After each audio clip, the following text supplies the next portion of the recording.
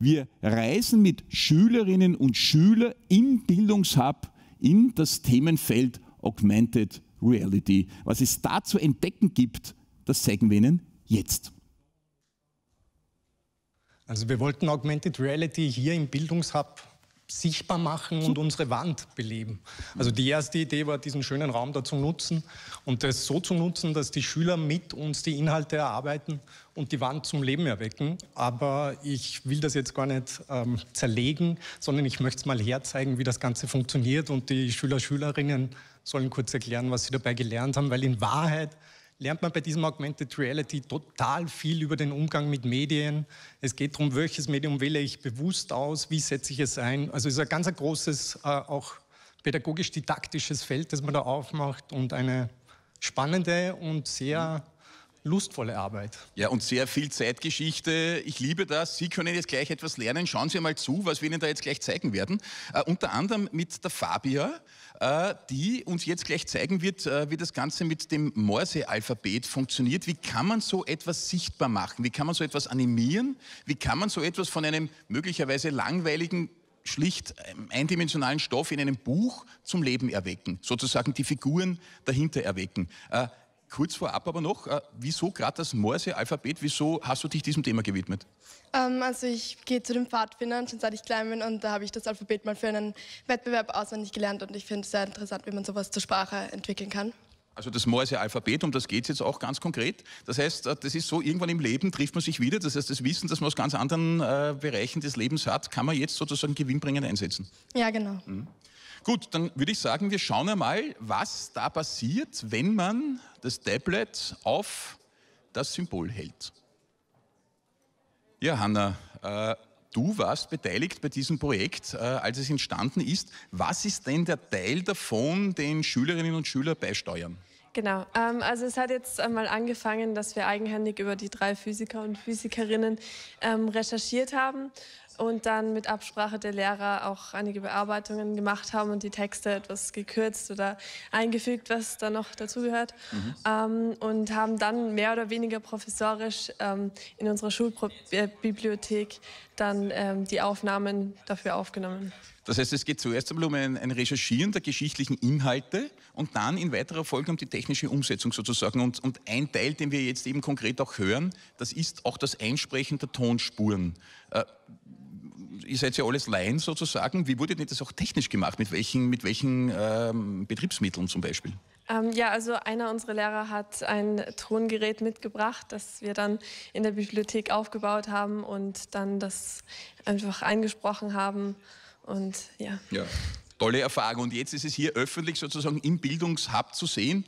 Ja, ich würde sagen, wir schauen einmal, was es sonst noch gibt. Es sind ja hier viele, viele äh, Logos, äh, hinter denen sich dann Filmchen verstecken über die äh, spannende Vergangenheit, über zeitgeschichtliche Informationen von Schülerinnen und Schülern eben recherchiert. Äh, Samuel, äh, ein Teil, ein wesentlicher Teil auch von dir. Es geht ja jetzt hier exemplarisch um, um einige geschichtliche Daten, die wir sehen werden. Um was geht es beim nächsten?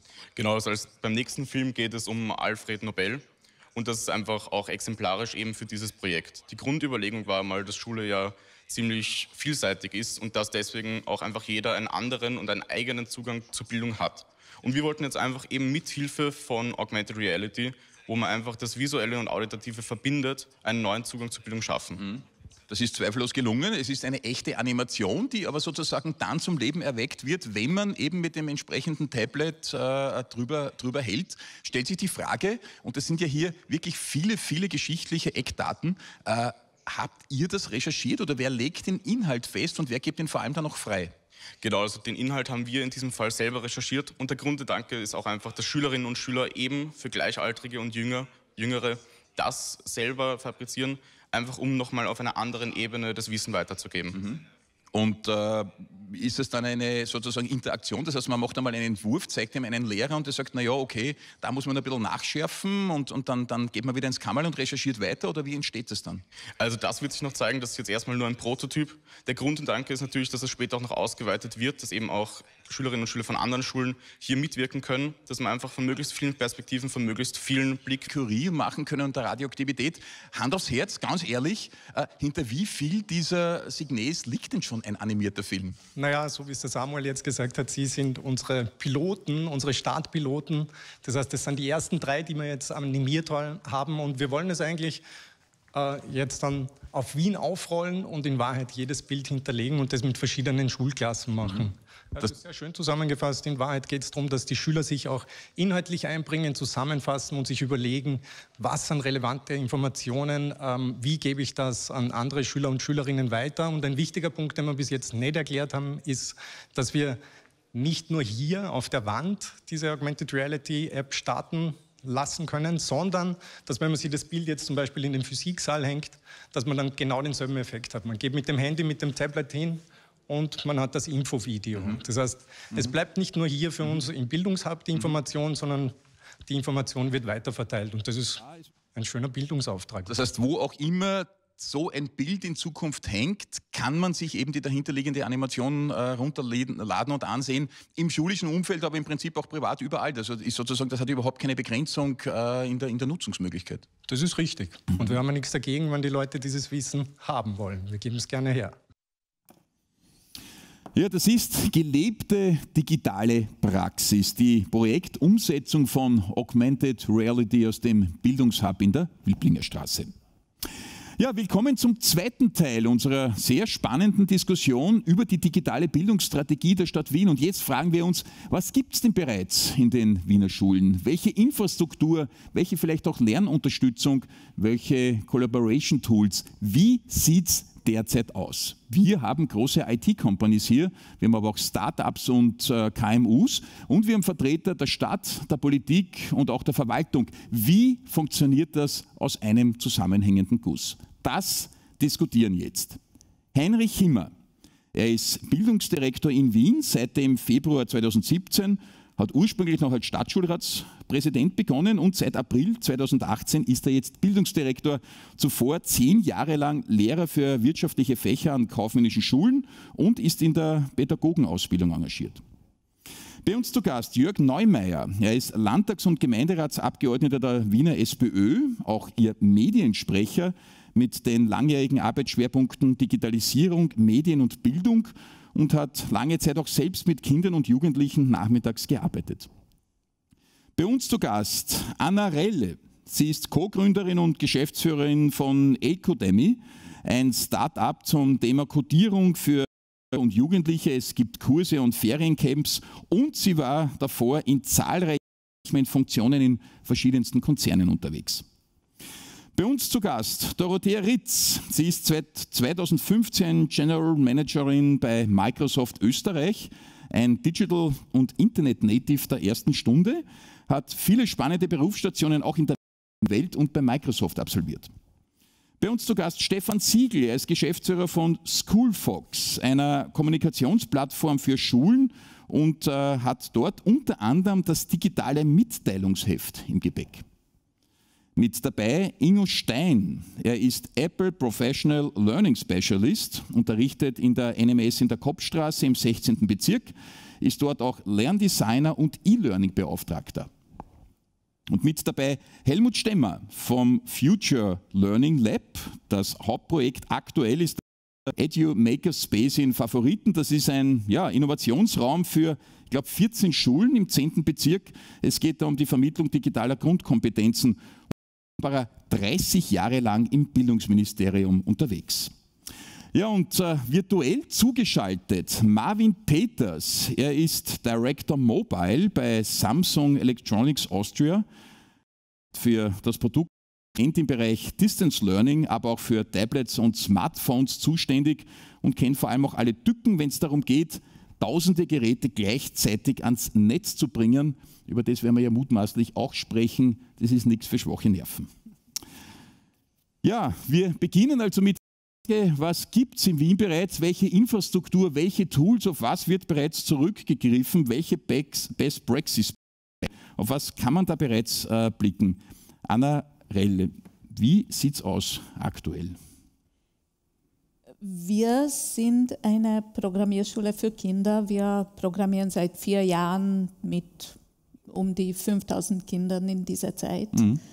Es gibt uns, wir sind aber relativ unabhängig vom Bildungssystem.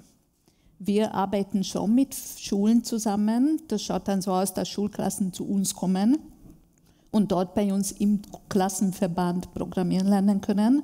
Aber dafür benötigen wir Unternehmen, das ist so eine Kooperationsform, die, die das finanzieren. Also es gibt auf der einen Seite das Schulsystem, wovon wir jetzt sehr viel gehört haben. Und auf der anderen Seite gibt es uns außerhalb, die wir aber sehr viel Know-how in dem Bereich Auch für haben. Camps und für Workshops, klassenübergreifend sozusagen, ist ein spannendes Projekt. Äh, Microsoft äh, ist ja ziemlich präsent auch im Schulwesen, ganz aktuell, ich sage das jetzt auch als, als Lehrer. Äh, wie ist denn der Status, was wird da schon angeboten, wie weit ist die Digitalisierung fortgeschritten? Ja, also Microsoft bietet ja schon seit 20 Jahren eigentlich für äh, äh, den gesamten Lehrbereich äh, die Microsoft-Plattformen äh, auch umsonst an. Also Microsoft 365 heißt es heute, das ist das, was OneNote und Teams und natürlich auch das Office haltet, äh, gab es auch schon vorher. Jetzt muss man nur sagen, durch die letzten Monate ab äh, März haben wir natürlich einfach tausende Lehrern, tausende von Schülern äh, äh, ins, äh, ins Homeschooling und dadurch natürlich einfach auch in diese Nutzung dieser Plattformen äh, katapultiert. Was ich ganz toll fand, ist, äh, wir hatten 7000 Lehrer, die sich äh, online bei uns fort- und weiterbilden mhm. haben lassen. Das heißt, Digitalisierung ist kein Selbstzweck, aber natürlich eine unglaubliche Möglichkeit, dass man hier skaliert. So, die Schüler stehen im Mittelpunkt. Das heißt, es muss immer darum gehen, wie kann ich den Schüler individuell unterstützen, besser zu lernen, auf vielfältige Art und Weise Weise. Und ich denke, wir haben jetzt einfach gesehen, wenn wir, wir als Microsoft ein Stück weit die Plattform geben, wo sich Lehrer, Schüler treffen können um hier äh, gemeinsam zu lernen, dann kommen wir weiter. Was ich auch gemerkt habe, ich bin ja Mutter von zwei Kindern, deshalb habe ich es von der anderen Seite auch gesehen. Der große Benefit, den wir auch gesehen haben, ist, die Schüler lernen von Schülern in der ja. Corona-Zeit. Also dieses, dieses soziale Komponente gemeinsam zu lernen und Projekte auch aufzubauen, ist etwas, was für die Zukunft super, super wichtig ist. Es war ja schon bemerkenswert, uh, MS Teams war ja eines der Tools, über die zu unterrichten war. Dann gibt es auch Moodle und es gibt auch andere Plattformen, aber jedenfalls war Teams eine sehr starke Plattform. Sie haben schon gesagt, das ist äh, integriert in dem Paket, das den Schulen zur Verfügung ja. steht. Äh, plötzlich waren da alle. Das war ja ein Monat vor warten. Plötzlich war da jeder. Ja. Auch ich habe so unterrichtet. Äh, war da je irgendwo auch die Möglichkeit, dass das Netz zusammenbricht, dass die Systeme überlastet sind? Wie knapp war es denn eigentlich? Ja, also äh, sowohl die, äh, die Telekommunikationsunternehmen, die Partner als ich glaube, wir haben wirklich einen super Job gemacht, äh, unglaublich viel Kapazität zur Verfügung man muss sich das vorstellen, äh, da ist Kapazität in zwei, drei Wochen aufgebaut worden. Die, waren, die, die sind in den letzten sechs Jahren vorher aufgebaut worden, innerhalb mhm. von zwei Wochen. Mhm. Und das hat geklappt. Manchmal ging das Video nicht, manchmal musste man ne, ein bisschen länger warten und ruckeln, aber grundsätzlich hat das sehr, sehr gut funktioniert. Aber das Wichtigere war, wieso hat es funktioniert, dass die Lehrer plötzlich unterrichten konnten? Ja, Schüler können das sowieso. Ne? Also die haben das ja gelernt, mit den Geräten umzugehen. Äh, aber wie, dieses Ich lerne von einem Lehrer, der das schon kann. Ich setze mich da einmal guckt zu, dann habe ich zwei schweißtreibende erste Unterrichtsstunden, wo ich ja. irgendwie versuche, mit der Technik klarzukommen. Oder auch mehr. Oder auch mehr. Und dann in der dritten läuft das schon ganz gut. Ich lerne von den Schülern, ich lerne von den anderen Kollegen und vor allem die Le Schüler lernen und unterstützen sich gegenseitig. Das ist, glaube ich, einer der größten Effekte, die wir gelernt haben. Und noch nur so skalieren wir am Ende, weil die Technik ist da. Also hoffentlich nicht nochmal von heute auf morgen mit der Bandbreiten-Elastizität, äh, die wir da brauchen. Aber viel, viel wichtiger ist doch, die, wie wir die Frage nehmen, wie können wir eigentlich jetzt auf all diesen verschiedenen Leveln, wo die Leute sind, äh, dieses, dieses Gemeinschaftslernen auf einer digitalen Plattform äh, nutzen, um wirklich zu skalieren, damit jeder daran partizipieren kann. Das ist in der Tat ein spannendes Thema. Ich kann nur sagen, ich wurde zu Beginn von den Schülerinnen und Schülern eingeladen, auf die Kommunikationsplattform zu kommen. Irgendwann war es dann eine Gmade Wiesen, aber war nicht nur eine schweißtreibende Stunde. Die Vorbereitungszeit will ich gar nicht dran denken. Aber man wächst mit der Aufgabe. Äh, Stefan Siegel, von Microsoft zu Schoolfox äh, ist ein spannender Weg, ist äh, sozusagen kein weltumspannender Multi, ist ein Startup das Startup, Stichwort digitales Mitteilungsheft. Äh, wir haben vorher schon im ersten Panel gehört, äh, es gibt einen Haufen Zettel, alles kugelt herum. Äh, das hat die Landesschulsprecherin gesagt, jetzt aber auch aus Sicht der Schulen. Ähm, das Klassenbuch ist immer so eine Geschichte, das Mitteilungsheft, es ist eine Zettelwirtschaft, wienerisch. Wie funktioniert das bei Schoolfolks? Genau, wie du richtig schon gesagt hast, beim einen Spieler, ähm, wir sind als digitales Mitteilungsheft gestartet auch ein bisschen als Ersatz für das äh, Verwenden von WhatsApp, als sicherer Ersatz für das Verwenden von WhatsApp im Schulbereich, weil es ja so quasi geduldet wurde, aber nicht wirklich ähm, erlaubt ist offiziell. Und wir haben dann eben begonnen, die Lehrer, die Eltern, die Schüler zu vernetzen und haben eigentlich so viele schlaue Funktionen hinzugefügt über die Jahre. Ja, wir sind jetzt auch mittlerweile schon fünf Jahre am Markt, haben dann Umfragetools dazugegeben, wir haben Übersetzungsfunktionen in 40 Sprachen gemacht, wir haben ähm, Checklisten und, und, und, ganz, ganz viele Tools und wir sind sozusagen langsam vom reinen Kommunikationstool irgendwo auch zu einem Kollaborations- und Organisationstool gewachsen. Also eigentlich ein schon fast vollwertiger Ersatz für so ein LMS, ähm, das man im Schulbereich braucht. Und dann ist Corona passiert ja, und dann sind wir quasi von dem Tool von Regelunterricht ja, zum Fernunterricht und jetzt wahrscheinlich so eine Art Hybrid-Unterricht äh, gekommen und haben eigentlich in der Praxis gezeigt, dass es ganz gut funktioniert hat. Wir mhm. haben kurz vor Corona hatten wir schon über 300 Pflichtschulen in, in Wien, die Schoolhawks verwendet haben. Das hat dann sich über gesteigert, aber innerhalb der Schulen, das ist das, was so erstaunlich war, hat sich die Benutzung verfünffacht. Wow. Ja, weil am Anfang alle Lehrer ja, und mhm. dann am Ende waren sie alle oder zumindest fast alle Lehrer. Und das war das Erstaunliche. Ja, und da müssen wir eben den Rückenwind der Stadt Wien haben, auch offizielle ähm, Pilotprojekte starten können und ja, also das. Das sind ja fast alle Pflichtschulen. 445 gibt es aktuell äh, im Reich sozusagen von Heinrich Himmer im Bereich der Wiener Bildungsdirektion. 445 Pflichtschulen mit 110.000 äh, Schülerinnen und Schülern. Für die ist ja auch primär die digitale Bildungsstrategie jetzt angedacht. In Summe gibt es ein bisschen mehr als doppelt so viele Schülerinnen und Schüler, wenn man jetzt auch äh, berufsbildende Schulen äh, dazu nimmt und, und andere, aber eben 110.000 Pflichtschüler. Äh, Ingo Stein, äh, neben der gesamten Apple-Kenntnis und, und dem, dem, professionellen Umgang damit, sind Sie auch E-Learning-Beauftragter. Äh, das war ja ein Job, der war früher ganz okay und gemütlich. Ich weiß das vom DGM, da haben alle gesagt, ja, ist super, ist sexy, das klingt cool, machen wir mal. Äh, und plötzlich kam äh, das war dann für E-Learning-Beauftragte plötzlich der Elch rückblickend jetzt, äh, wie waren diese Tage, wie waren diese Wochen zu Beginn? Plötzlich der Shutdown am 16. März, keiner war mehr in den Schulen, alle waren zu Hause. Wie haben Sie das als E-Learning-Beauftragter empfunden? Also wir hatten das Glück, relativ vorzeitig darauf reagieren zu können. Ich glaube, es war damals der Mittwoch, wo so diese ersten Gerüchte aufgetreten ja. sind, dass am Montag die Schulen schließen. Ja. Und wir haben sehr spontan dann geschaut, dass wir einmal sofort noch einmal alle Lehrerinnen und Lehrer an der Schule schulen in diesen Unterricht des Distance bei uns war das Moodle als Plattform. Wir sind iPad-Schule, damit hatten wir das große äh, Glück, dass alle unsere Schülerinnen und Schüler, aber auch die Lehrerinnen und Lehrer digitale Geräte hatten und es an sich gewohnt waren, damit umzugehen. Und ich möchte vielleicht gleich im vorigen Beispiel ist das so die Frage gewesen, wie, wie, wie alt muss ein Lehrer sein, damit er sich noch darauf einlässt. Da möchte ich gleich ein Beispiel dazu sagen. Eine Kollegin, die war da dabei, die äh, ist im Juli in Pension gegangen. Das heißt, die hat das eigentlich noch betroffen, drei Monate. Und die hat aber gesagt, das gebe ich mir jetzt noch einmal. Ich hm. möchte das wirklich lernen, zeig mir das, wie das mit dem iPad geht. Und es hat dann wunderbar funktioniert. Cool da kommen wir fast die Tränen. Also man merkt dann schon, was, was da für Eigenengagement dahinter ist. Das war eine extreme Zeit für uns alle wahnsinnig belastbar, muss Richtig. man ganz offen sagen. Und dann drei Monate vom Aufhören, also Respekt, genau. äh, genau. ganz, ganz, ganz tolles Beispiel. Wichtig ist aber, dass man den Lehrerinnen und Lehrern auch die Tools dann dafür gibt. Ja, mhm. ich, ich, richte da meine, meinen Appell auch an die Verantwortlichen. Es ist sehr viel gesprochen worden, Schülerinnen und Schüler in Zukunft mit Geräten auszustatten. Ähm, ich möchte ein anderes Beispiel nehmen. Wenn Sie heutzutage Gitarre lernen wollen, dann wird die erste Aufgabe wahrscheinlich sein, dass Sie sich selber meine Gitarre besorgen, damit Sie das lernen können.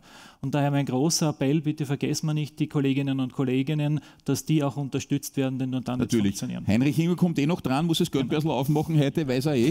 äh, jetzt sammeln wir alles ein, was es sonst noch gibt. Äh, Helmut Stemmer, äh, Sie sind in den Unruhestand äh, quasi gegangen von der Pension äh, und, und quasi freakhaft, haben Sie sich ja neue Aufgaben finde ich ja wirklich cool. Gibt es äh, vieles im, viele ein Innovationsraum für 12 bis 14 Schulen im 10. Bezirk. Es geht um digitaler Grundkonzepte äh, und, und, Grundkenntnisse und all das. Ähm, das ist eine, eine, freiwillige Vereinigung sozusagen, ein, ein, ein, Verein, der sich darum kümmert. Ähm, wie ist denn die Ausstattung derzeit von Schulen im 10. Äh, wenn wir da von der digitalen Bildungsstrategie gehört haben, wo die Pläne ja sehr hochfliegend sind. Wie ist denn das in der Realität jetzt im Jahr 2020? Projekt, das wir hier begleiten, ist, bedeutet Edo Makerspace, bedeutet Maker-Szene, kommt aus dem anglikanischen Raum. Maker heißt machen. Und wir wollen den Schülern und Schülerinnen einen Innovationsraum schaffen, wo sie das, was sie mit Design und mit Design Thinking verbinden, quasi real umsetzen können. Und dazu hat äh, das Future Learning Lab quasi eine Art Grundkonfiguration ausgetestet, die um quasi 1000 Euro zu, zu haben ist. Das ist ein Betrag, Betrag, der für Schulen erschwinglich ist. Und da gibt es einen 3D-Drucker zum Beispiel darum. Äh, es gibt einen Lasercutter, eine Vinylpresse und können Sie hergehen und 3D-Objekte selber kreieren. Sie können Faltobjekte machen. Also die Kreativität sprudelt hier förmlich. Und wir haben hier den, den Gegenstand Werken in den Mittelpunkt gestellt und die Werklehrer. Und äh, das ist sozusagen ein neuer Lehrplan, der im Entstehen ist, den wir hier vorwegnehmen und der den Kids und den Lehrern ermöglicht, quasi mit Werkstoffen neue Erfahrungen zu bringen, aber auch ihre digitalen Grundkenntnisse zu weil die Muster kommen aus dem Internet, sie werden an eine Maschine geschickt, sie werden modifiziert, sie werden verarbeitet. Und das machen wir in einem kollaborativen Prozess, weil das heute auch schon angeschnitten ist. Und wir bieten das für Volksschulen bis zu den 15 Jahren, bis zur Polytechnischen Schule an. Und es ist ein sehr, sehr großes und Erfolgsprojekt, das hier ist. Die Schulausstattungen selber, da haben wir Schulen, die haben nicht einmal einen Raum, um so ein Innovationslabor einzustatten, auszustatten. Da haben wir dann mobile quasi so Labore geschaffen oder die Möglichkeit, dass sie zumindest woanders gehen konnten. Und während des Shutdowns wir hatten am 5. März den Kickoff des Projektes mit über 40 Lehrkräften und am 15. Äh, März quasi begann der Shutdown und wir mussten alle Konzepte blitzartig umstellen. Das heißt, wir haben Online-Schulungen angeboten. Zoom-Konferenz war zehn Tage später und ich muss auch hier den Lehrerinnen und Lehrern großes Lob aussprechen. Sie haben diesen Wechsel großartig unterstützt und auch mitgemacht und hatten dann mit diesen Erfahrungen auch die Möglichkeit, mit ihren Schülern im Remote-Unterricht, also sprich im Auswärts, im Homeschooling, Ideen weiter umzusetzen, sodass die auch zu Hause basteln, werken konnten. Ein tolles Projekt. Äh, der ja, 3D-Druck, überhaupt eine große Innovation im Bereich der HTLs, Industrie 4.0 hängt natürlich auch ein bisschen äh, damit zusammen. Da war die Digitalisierung eh schon lange ein Thema, aber man sieht natürlich, dass man auch die Lehrkräfte sozusagen heranführen muss. Ja, wenn es stimmt, ist Marvin Peters zugeschaltet von äh, Samsung Electronics. Äh, wir sehen ihn jetzt zwar nicht am Monitor, aber wir werden ihn hoffentlich hören. Äh, bei Ihnen heißt es, und das klingt ja wirklich sehr spannend, Sie kennen die, wenn es darum geht, Dutzende oder hunderte Geräte plötzlich gleich ins Netz zu stellen. Das ist ja treibender Moment. Äh, Samsung ist ein Weltkonzern, aber auch da geht es natürlich dann darum, äh, das muss klappen. Äh, es gibt keinen Plan B, wenn es nicht funktioniert und das Netz zusammenbricht oder die Geräte nicht funktionieren. Ähm, ja, ist, ist, ist natürlich äh, ist es unangenehm. Wie läuft denn so etwas normalerweise und wie sind Ihre Erfahrungen dazu? Tatsächlich ist äh, Sophie, äh, wir wollen mal das Lehrpersonal das Lehrpersonal lassen und sie einen ITler oder einen App-Enrollment-Person ähm, ausbilden. Das bedeutet, dass wir auch wirklich zwei Themenbereiche bescheiden sollten. Uns ist es tatsächlich ein Anliegen, auf der einen Seite ähm, in der Ausbildung zu unterstützen, das heißt, Umgang mit zum Beispiel modernen Mitteln wie ein Tablet äh, zu stimulieren. Wir haben ja in vorherigen Diskussionen und Beiträgen schon gehört, äh, die Jugend, äh, sicher, die Geräte sind das sehr, äh, nicht allen sind es gewohnt, aber es ist sehr gut, zu lernen, damit umzugehen. Ähm, wenn Sie natürlich den Rollout ansprechen, ist genau exakt der zweite, zweite Bereich, wo wir, glaube ich, ähm, sehr gute, äh, eine führende Rolle haben. Äh, wir als Hersteller haben natürlich äh, sind angewiesen auf unseren, was wir nennen Supply Chain, also nicht nur die Planung, sondern was wir nennen den Rollout ist ein extrem wichtigen Teil. Es ist heute äh, mit vielen Technologien möglich, im Vorfeld eigentlich bereits zu sagen, okay, welche Apps möchte ich auf ein Tablet haben, ähm, auch alle Tablets sozusagen festzulegen und eine Schule oder mehrere Schulen gleichzeitig den Geräten auszurollen. Das bedeutet in der Praxis, dass wir zum Beispiel definieren können, welche Apps sind nicht nur drauf, sondern auch, wann haben Lehrlinge Zugriff darauf, auf welchen Apps haben sie Zugriff drauf, wo haben sie Zugriff drauf ähm, und wer kann Zugriff drauf haben. Und das natürlich auch im Rahmen des Datenschutz. Ähm, ich habe in der Panel 1 auch gehört, natürlich die Themen wie Datenschutz ist ein, ist ein wichtiger Beitrag, äh, wie man das äh, äh kann.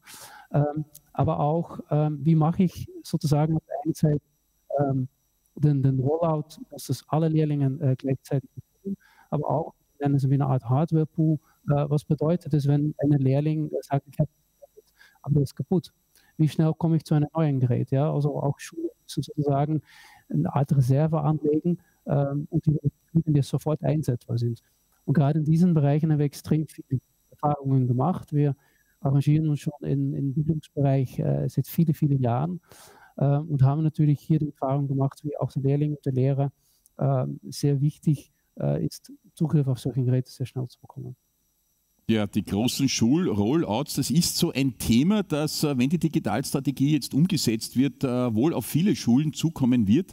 Es geht, wie gesagt, in Wien um 240.000 Schülerinnen und Schüler. Es geht um ein Endgerät. Manche haben ja ein eigenes, äh, Bring Your Own Device, das ist ja auch so ein Stichwort, wird nicht immer gern gesehen. Es ist quasi auf gut wienerischer Kuddelmuddel dann entstanden.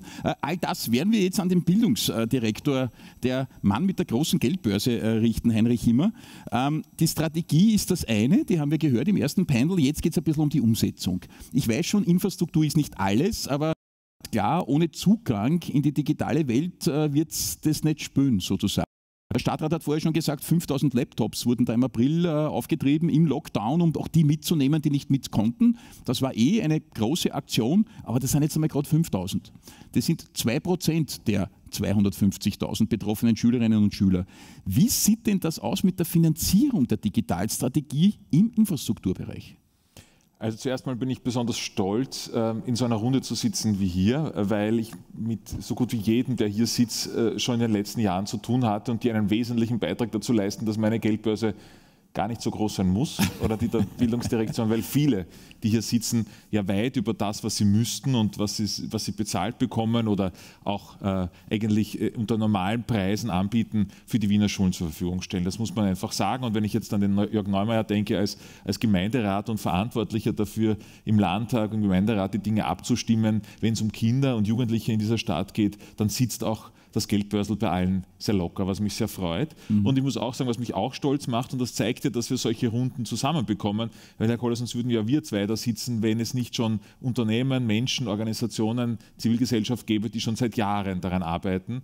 Und äh, was mich ja besonders freut, das muss ich jetzt auch sagen, ist, wenn hier in diesem der Digital Days 2020 das Wort Bildungshub so oft vorkommt, nämlich eine, eine Kreation sozusagen aus, dem, aus der Bildungsdirektion Barbara Würzelberger und ihr Team, die das sehr intensiv betreiben und wo, glaube ich, jeder und jede schon in irgendeiner Form damit zu tun hatte, dann geht es darum, einerseits natürlich Taschen zu öffnen und zu finanzieren. Ich nehme das auch sehr ernst, was die Elternvertreterin gesagt hat, nämlich ja. es darf nicht zu Mehrkosten der Eltern kommen. Das ist ein wesentlicher Punkt, weil wir wissen, wir wollen ein kostenfreies Schulsystem. Das betrifft, finde ich, auch die Pädagoginnen und Pädagogen. Wir haben in Wien 27.000. Das heißt, wir reden schon von Größenordnungen, wo wir natürlich finanzielle Mittel bereitstellen müssen und wo am Ende des Tages nicht Digitalisierung zum Preis der Mitarbeiterinnen und Mitarbeiter und der Kinder und Jugendlichen und Familien gehen kann. Ich glaube, das ist, ist das Interesse aller in dieser Stadt und die Vorbereitungen sind sehr weit und sehr intensiv, natürlich auch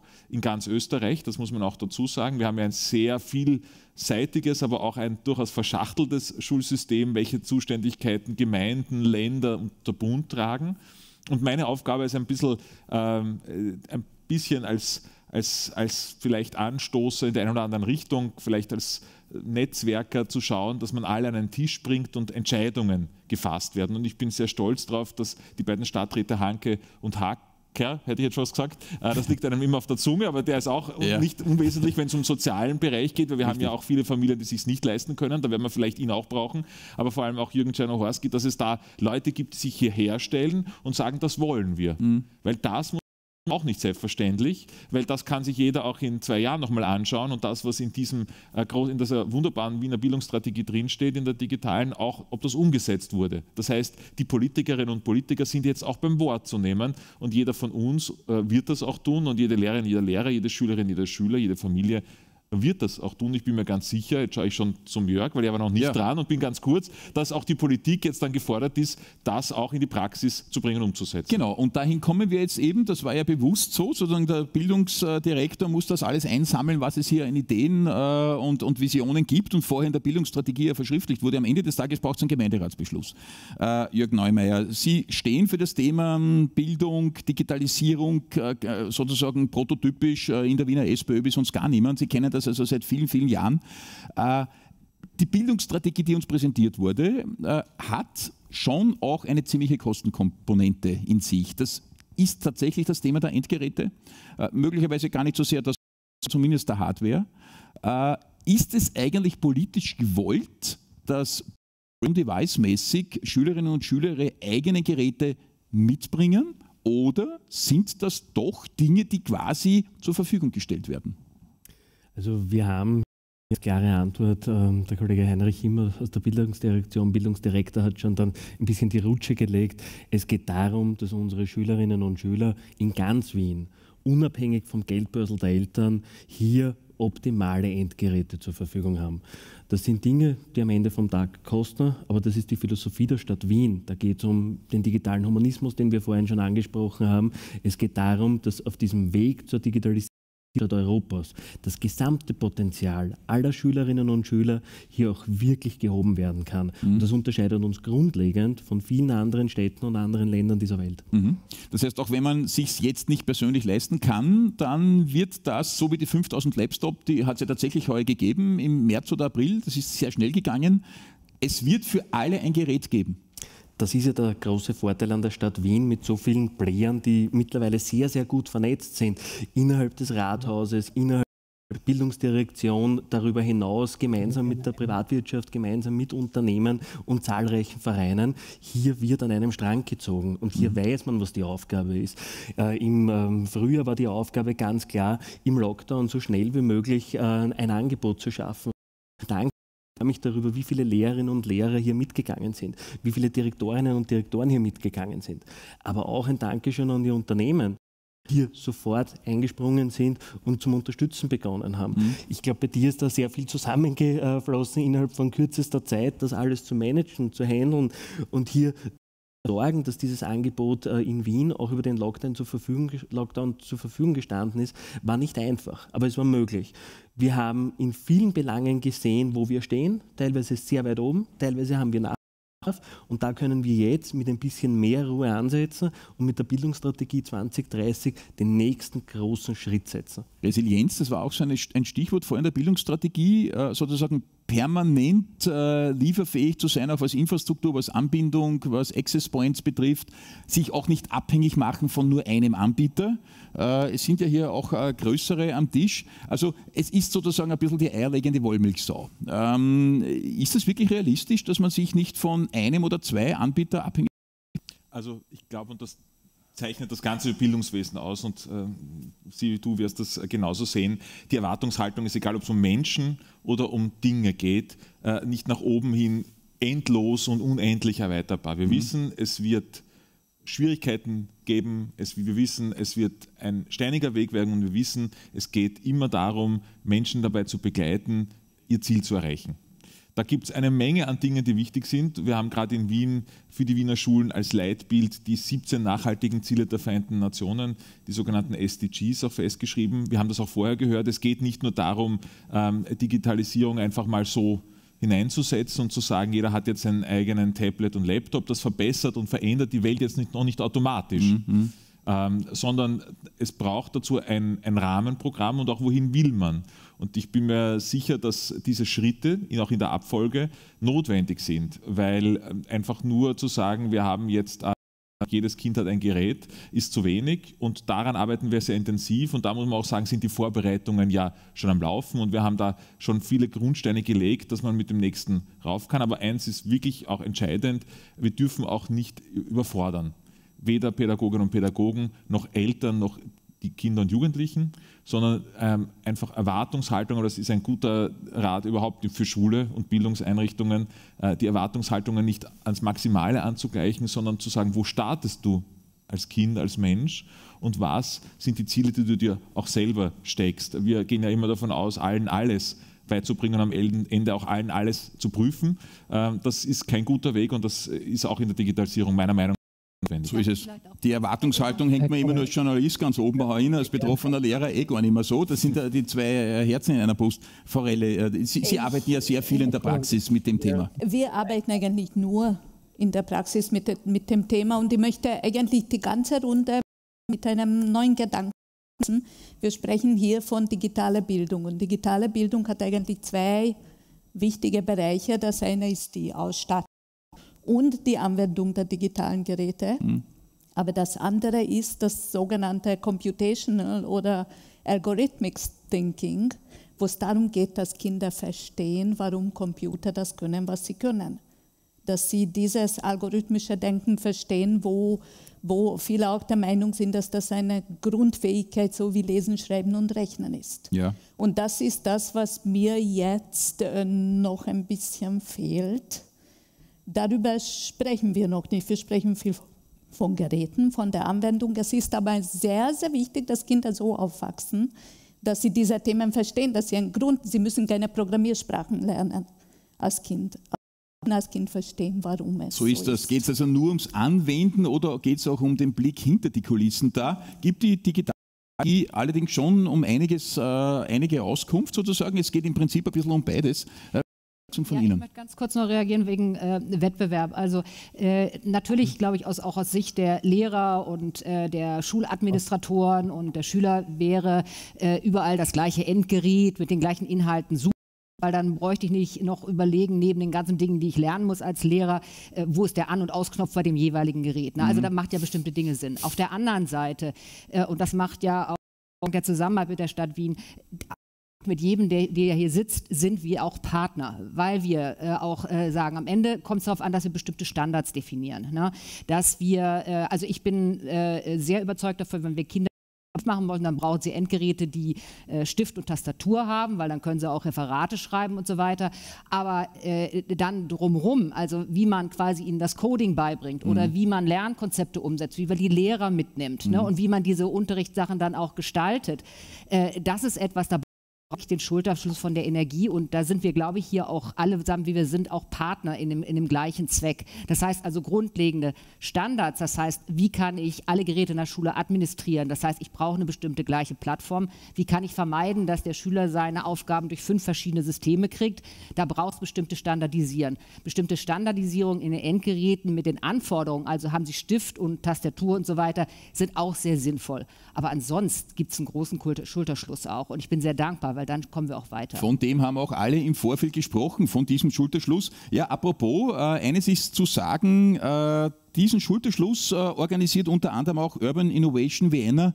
Wir sind ja hier in der Digital City Wien, eine Veranstaltung der Digital Days, die es jedes Jahr gibt. Äh, Urban Innovation Vienna ist sozusagen für diesen Schulterschluss zwischen der Stadt Wien, äh, den Wiener Unternehmen, aber auch Institutionen zuständig. Und außerdem sehr spannend, wenn Sie uns über den Livestream sehen, wer wie was visualisiert das, was wir hier sprechen. Ein sehr interessantes Projekt, gibt es auch nicht alle Tage. Ähm, Sie sehen es jetzt auch auch eingeblendet, äh, ja, das Bild wächst und wächst und äh, ist den ganzen Tag Begleiter hier an den Digital Days. Ja, Martin Gieswein ist auch schon den ganzen Tag hier vom Community Management. Äh, wir haben ja gesagt, über Slido können die, die uns zu Hause sehen, mitmachen. Was sind denn wieder die Fragen aktuell und wie viele sind es eigentlich?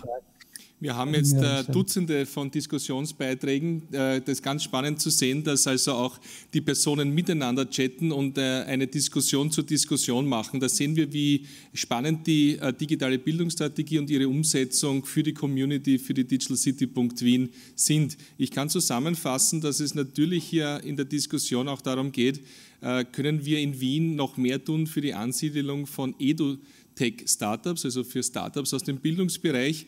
Äh, es ist eine große Diskussion rund um, äh, so wie es auch im Plenum genannt wurde, Abhängigkeit von einzelnen Anbietern. Sind das lokale Firmen? Sind das Firmen, äh, die aus einem anderen Kontinent beheimatet sind? Und natürlich, wenn es um die Hardware geht, wie schaut es mit der Nachhaltigkeit aus?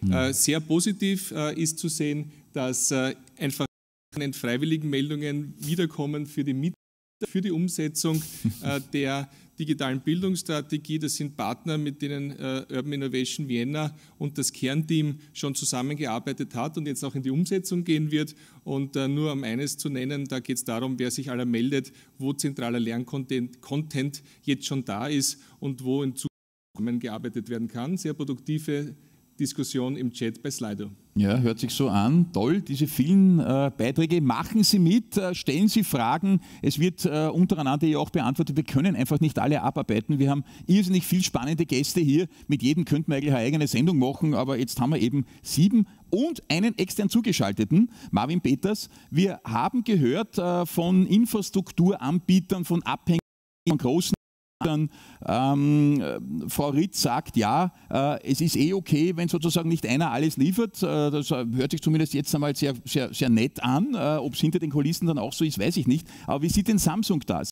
Nehmen wir mal an, jeder würde am liebsten den ganzen Markt besetzen. Äh, wie, wie sehen Sie das? Sehen Sie das auch so entspannt äh, wie Microsoft? So entspannt sehen. Äh, wir leben in einem freien Markt, insofern hat dann jeder seine eigenen Wahl. Ich glaube aber, dass es ganz wichtig ist und eins will ich schon noch gerne korrekt stellen, äh, auch hinsichtlich zu meiner ersten Anmerkung.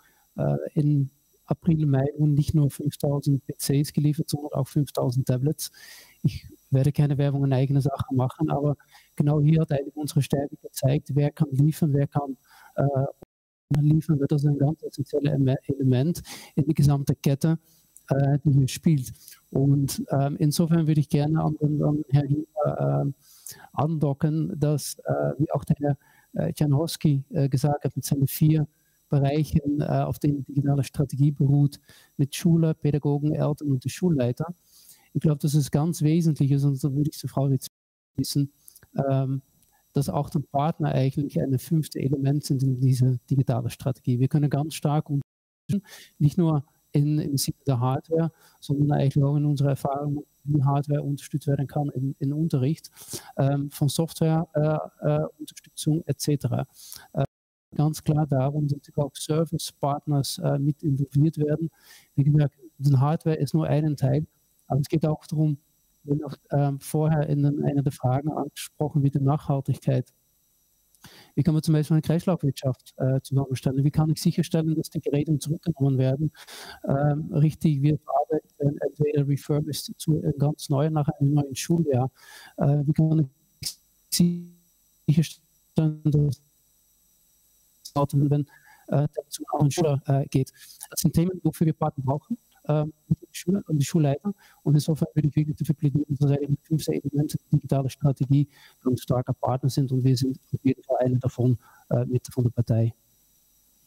Ja, die Servicefähigkeit und die Lieferfähigkeit ist natürlich ein Thema, keine Frage. Da sind große durchaus im Vorteil. Ingo Stein, äh, Sie sind sehr an Apple angedockt, sozusagen auch in dem, äh, was Sie machen und können. Also es gibt hier sozusagen natürlich auch äh, den Wunsch vieler, und das ist ja durchaus nachvollziehbar mit der Geschäft zu kommen. Ich sage das jetzt mal ganz profan und rein betriebswirtschaftlich betrachtet. Ähm, ist das sinnvoll, nicht auf einen, sondern auf mehrere parallel zu setzen, so wie sie jetzt auch die großen Anbieter, wie es Microsoft sagt, wie Samsung sagt, die wirken ja alle so, als würden sie da mitspielen. Ähm, sieht das Apple ähnlich? Also ich würde sogar einen Schritt weitergehen und würde sagen, wir haben heute schon gesprochen davon, das Budget zu entlasten. Nutzen wir doch diese Ressourcen der großen Player. Äh, ich möchte jetzt nur als Beispiel von Apple sagen, wir haben hervorragende Curricula zu uh, Everyone can create, kann, jeder kann kreativ sein, zum Programmieren. Wir haben Trainer, die an die Schulen kommen. Ich bin Apple Professional Learning Specialist, wir gehen an die Schulen, wir machen maßgeschneiderte Trainings. Wir unterstützen Schulen in Coaching und Mentoring Sessions bei diesem Weg. Und das ist etwas, das eigentlich viel zu wenig im Moment noch angefragt wird. Und das wäre schon einmal eine Möglichkeit, wie wir das Budget entlasten können, mhm. indem wir die vorhandenen Erfahrungen und Ressourcen Ressourcen der großen Player hier wirklich einsetzen. Das heißt, ihr würdet euch zur Verfügung stellen, um sozusagen proaktiv und äh, kostenfrei für die Stadt Wien äh, tätig zu werden? Das äh, passiert zum Teil schon bereits. Ja? Das ist bereits der Fall in den einzelnen Schulen. Sie nicken, bei Ihnen ist es auch so. Das sind solche Lehrer wie Herr Fleischacker. Herr ja. Fleischacker ist einer von 110 unserer Expert äh, Educator von Microsoft. Es werden jetzt im Augenblick täglich mehr, die ihr Lernen anderen Lehrern, Lehrern beibringen. Lehrer lernen gern von Lehrern. Die lassen sich nicht was von mir erzählen. Ne? Also am Ende irgendwo ist mal eine grundlegende Entscheidung, ob das ist die unterliegende Infrastrukturen, Lernplattformen. Aber dann da drauf äh, gibt es ganz viele Möglichkeiten, eben lokale Innovationen. Am Ende geht es immer um die lokalen Firmen und die lokalen Lehrer. Wir könnten überhaupt nicht äh, das vermitteln, wenn wir nicht unsere 10, 120 Lehrer hätten und unsere lokalen Partner, mit denen wir eben Coding und solche Dinge anbieten.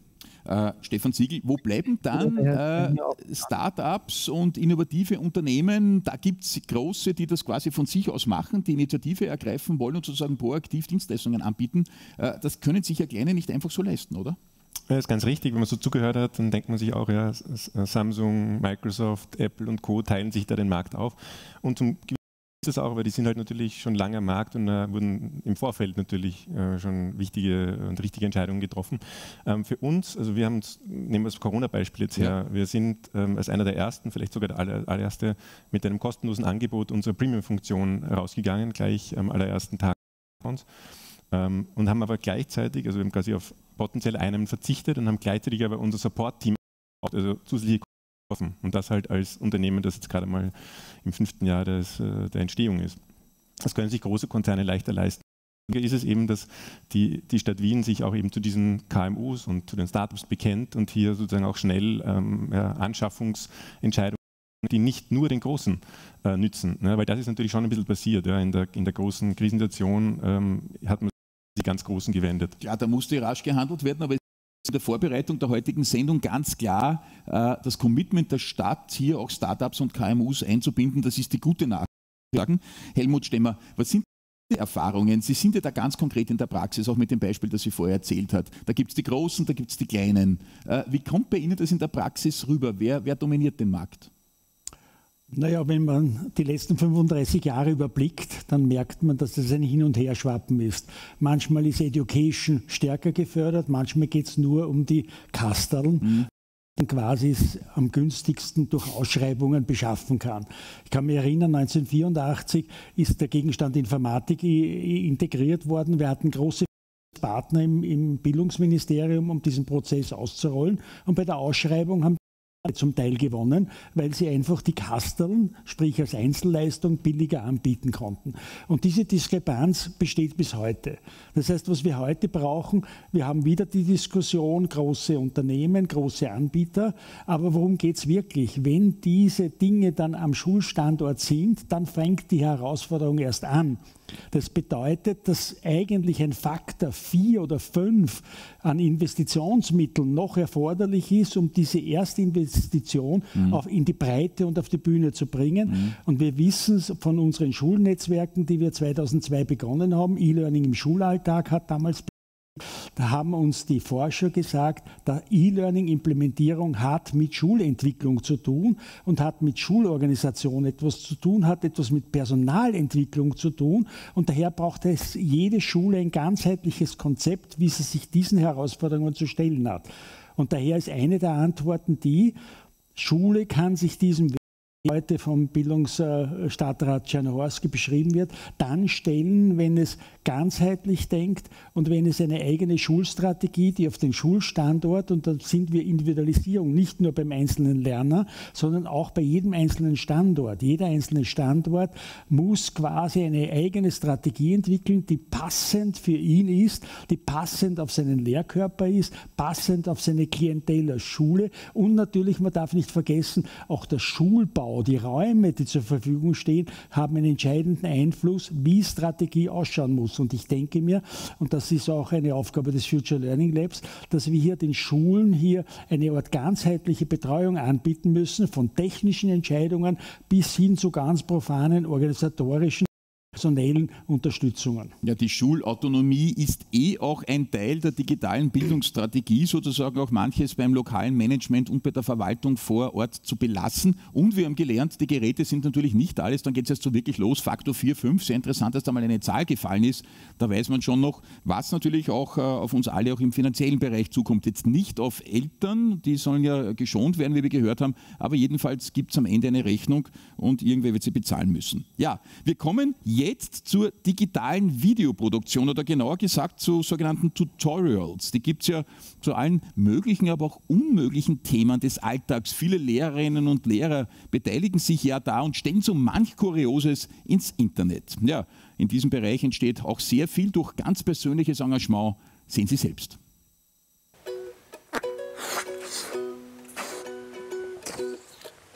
Hey, hallo, ich bin der Michael von Bildungshub Wien. Und richtig geraten, heute zeige ich dir, wie du Jonglierbälle baust. Hey, da ist wieder der Jakob aus dem Bildungshub. Heute möchte ich euch zeigen, wie man seinen eigenen Avatar erstellen kann.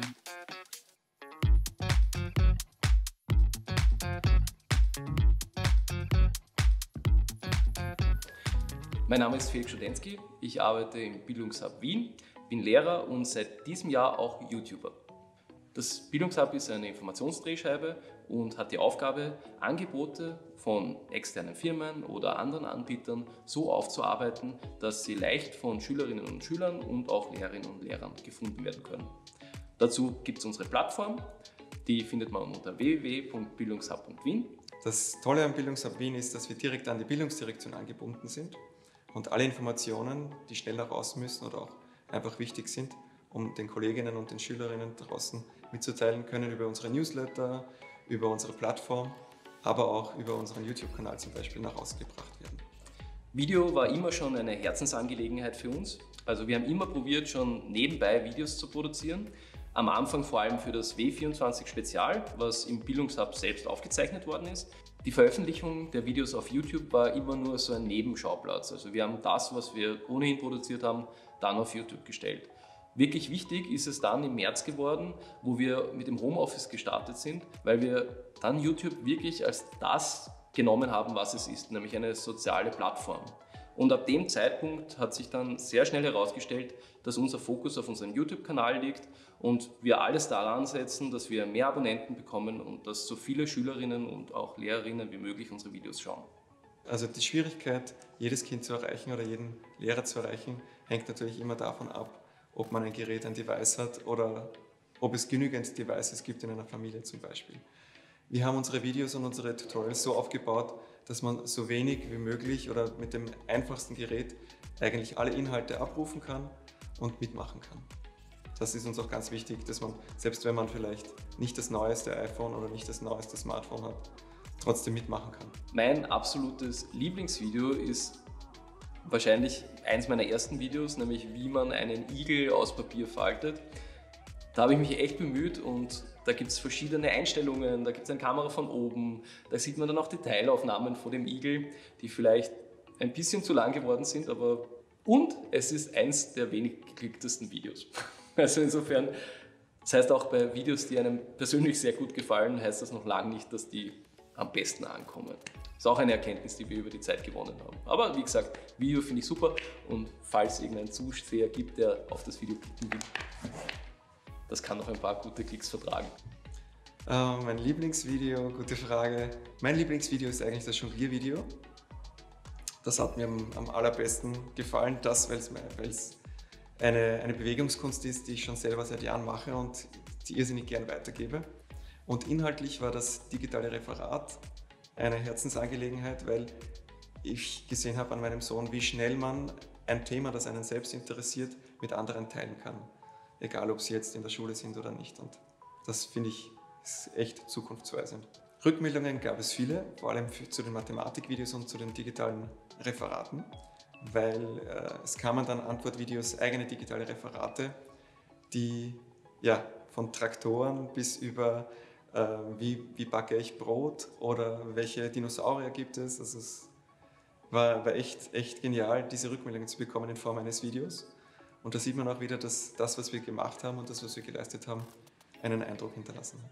Also eine zentrale Sache, die ich selbst gelernt habe, ist einfach am Ball zu bleiben. Es ist relativ normal, jeder kann sich eigentlich nicht selber hören und auch selber ansehen und das beides gemeinsam noch viel weniger. Aber mit der Zeit wird das alles besser und mit der Zeit hat man viel weniger Probleme, Videos zu produzieren und es geht alles leichter von der Hand. Und mit den Ideen ist es ähnlich. Ja. Je mehr Videos du produzierst, desto mehr Ideen bekommst du, was du eigentlich als Video produzieren kannst und wie du das aufnehmen kannst. Das heißt, einfach machen. nicht groß überlegen. Unsere Zukunftsperspektive ist, dass wir weiter digitale äh, Lernmedien erstellen, dass wir weiterhin Servicevideos erstellen, aber das, was wir möchten, wir möchten einen bleibenden Eindruck hinterlassen bei Schülerinnen und Schülern, bei Lehrerinnen und Lehrern und sie selbst dazu motivieren, weiterzumachen. Und YouTube kommt einfach super bei Schülerinnen und Schülern an. Also am Anfang haben wir ja noch alles drinnen produziert und haben schon gutes Feedback bekommen, aber die letzten paar Drehs zum Beispiel, die haben wir draußen gedreht. Und das war zum ersten Mal so Kontakt mit der Öffentlichkeit. Und bei jedem einzelnen Dreh ist wer vorbeigekommen, eine Schülerin oder ein Schüler, und hat gefragt, ob wir YouTuber sind und ob sie unsere Adresse haben können. Und da hat man ganz stark gemerkt, das ist ihre Welt. Das ist das, was ihnen gefällt. Und allein dadurch, dass man YouTuber ist, hat man schon einen gewissen Bonus. Und den wollen wir natürlich ausnutzen. Ja, nichts ist unmöglich einfach machen, haben wir jetzt äh, gehört. Ja, spannende Beispiele der frisch gebackenen YouTuber. Ähm, auch so funktioniert Digitalisierung sehr anschaulich. Jörg Neumann. Wir haben jetzt viel über die Infrastruktur gesprochen, die ist natürlich wichtig, aber man hat ja jetzt auch in dem Video gesehen, das lebt natürlich in Wirklichkeit nur vom Engagement und von den Inhalten. Bei der Digitalisierungsstrategie, die der Jürgen Czernohorski vorher präsentiert hat, geht es ja auch natürlich um die nötigen Endgeräte, aber es geht vor allem um eine, um eine neue Vermittlung von Lehr- und Lerninhalten. Was kommt da auf uns zu? Ich habe das in einer der Vorbereitungsrunden oder in der Entwicklungsphase der Wiener Bildungsstrategie äh, klipp und klar gesagt, es geht nicht nur um die Kasteln und um die Kabeln, es geht um die Kinder, es geht um die Eltern, es geht um die Lehrer und es geht um unsere Zukunft. Das ist ganz wichtig in den Raum zu stellen und da sind wir dann beim Herzen der äh, Wiener Bildungsstrategie, bei der digitalen Bildungsstrategie 2030. Es geht um Kommunikation, es geht um Kommunikation, permanente Kommunikation, nicht nur am Sprechtag, nicht nur am Elternabend, nicht nur in der Sekunde, wo die Lehrerin oder der Lehrer den Schüler, den Schü die Schülerin daneben sondern ein permanenter Austausch, der stattfinden kann, der halt mit einem Digital Device unterstützt ist. Es geht um Kommunikation, ganz, ganz wichtig, ein Mehr an Kommunikation auf vielen Ebenen.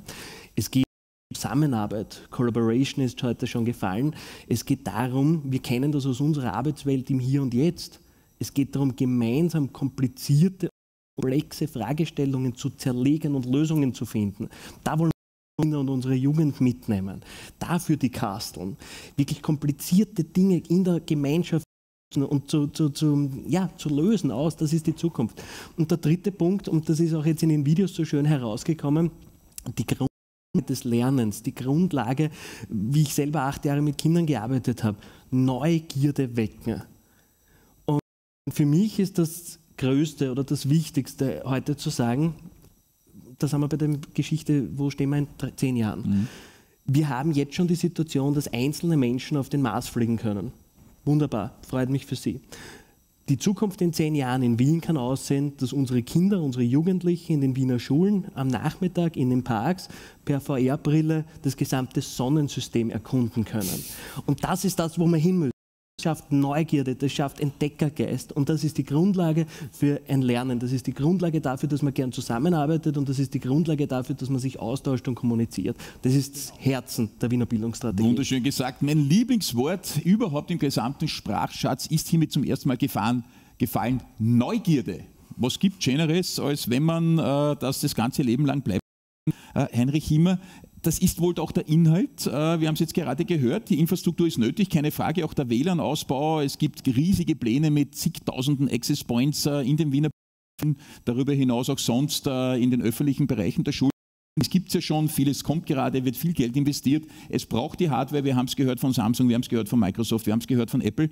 Aber es geht im Wesentlichen um die Inhalte, die das Ganze dann zum Leben bringen und jene Euphorie auslösen, äh, die beim Jörg jetzt gerade äh, zu bemerken war oder auch bei den Freaks, die beim Video mitgemacht haben. Also Neugierde ist gleich Lernen und Bildung. Ohne Neugierde gibt es keine Innovation, gibt es keine Weiterentwicklung. Das trifft Unternehmen wie Gesellschaften, Schule, wie Bildung, wie Kindergärten, wie Familie zu. Ohne dass man nicht zum Mars fliegen will, wird man auch nie ein Raumschiff bauen. Ähm, und ohne etwas entdecken zu wollen, wovon man noch gar nicht weiß, was man entdeckt, äh, sind die ersten wesentlichen Schritte. Und wenn man sich, äh, das weiß ja auch jeder, wie Microsoft gegründet wird, äh, wie dort in der Garage mehr oder weniger die ersten Schritte gegangen worden sind. Es braucht Leute, die Ideen haben, die sie raustragen und es braucht Leute, die hier sitzen, die Pionierinnen und Pioniere sind für, für Schulen in Wien, wo eben viel kompliziert und im Kleinteiligen überlegt werden muss, wo viel vorbereitet werden muss, die aber nicht darauf warten, bis jetzt der Himmel das Geldbörsel aufmacht oder eine sagt, jetzt machen wir es, sondern die schon seit vielen Jahren und Jahrzehnten dranbleiben. Und das macht mich unglaublich stolz. Und wenn ich da die zwei Lehrerinnen, also zwei Lehrer, die, die da aus dem Bildungshub, der ja. aus der Bildungsdirektion kommen, dann kommen mir fast die Tränen, weil ja. ich mir denke, so viel Freude und Neugier, die da rausgetragen wird, das ist ja ansteckend. Und das ist auch das, glaube ich, was, was, was Jörg Neumeier und alle hier gesagt haben, ohne diese Freude und Neugierde auch etwas auszuprobieren, ist vollkommen egal, um welches Thema es geht. Es wird das voraus sein. Und das zeigen auch die Digital Days hier, das zeigt Urban Innovation Vienna und das zeigt auch die Diskussion hier.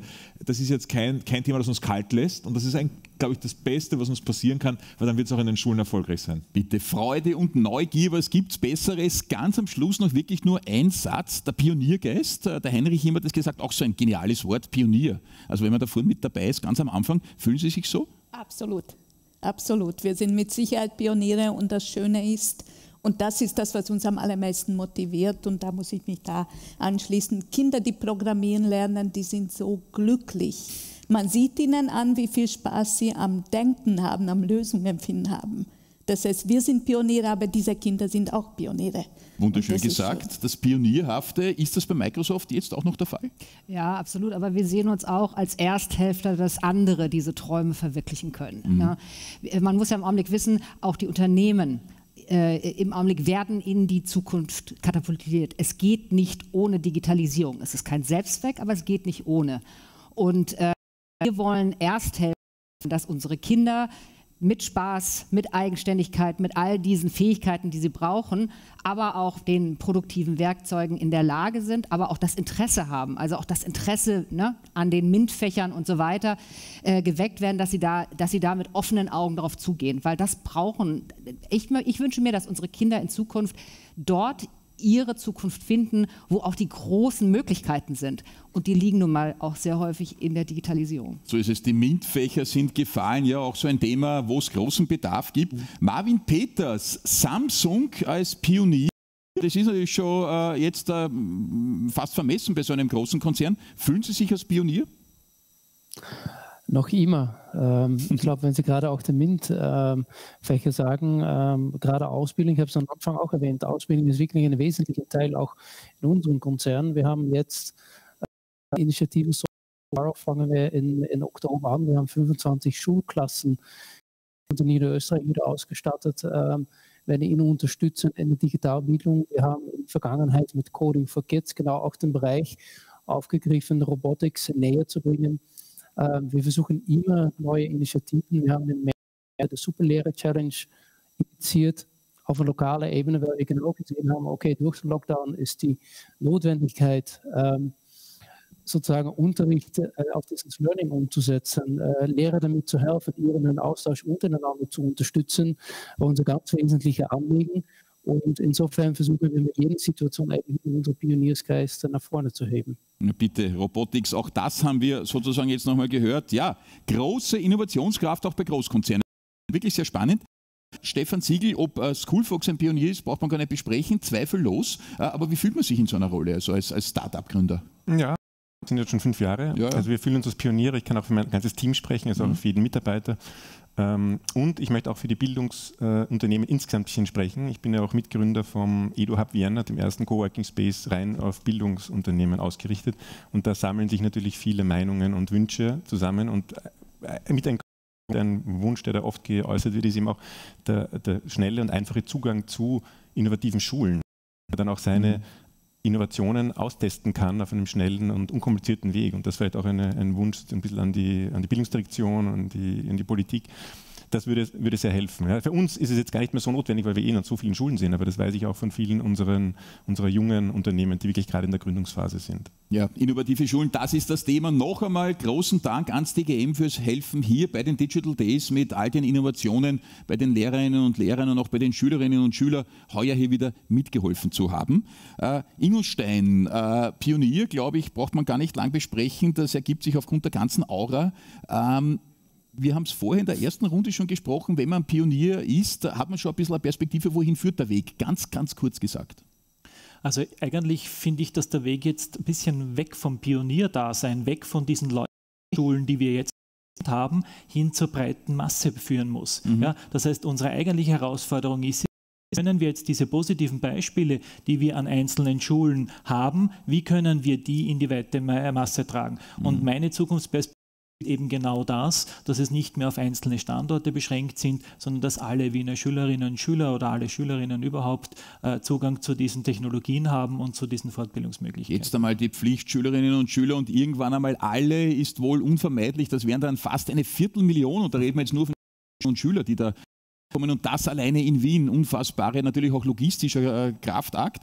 Zum Schluss äh, Helmut äh, Stemmer im Unruhestand. Ist ja wirklich spannend. Sie haben den Missionsantritt schon hinter sich und jetzt geht es erst los. Pionier sozusagen auch mit 20 plus. Also Pionier, wie gesagt, die ersten Schulnetzwerke, Gründung der virtuellen pädagogischen Hochschule seit vielen die erste Lernplattform-Initiative begleitet mit Edu Moodle-Projekt. Also Pionier auf vielen, vielen Ebenen und immer wieder vor der Herausforderung gestellt, was passiert, wenn jemand sagt, alle müssen? Weil Pionier heißt immer, dass man mit ausgewählten Szenarien arbeitet, mit hochmotivierten Schulen und Schülerinnen. Mhm. Und äh, die Pionierschulen haben immer gefragt, woran merkst du, dass wir erfolgreich sind? Da habe ich gesagt, ich brauche nur in die Augen eurer Kids schauen und wenn die leuchten, dann habt ihr alles richtig gemacht.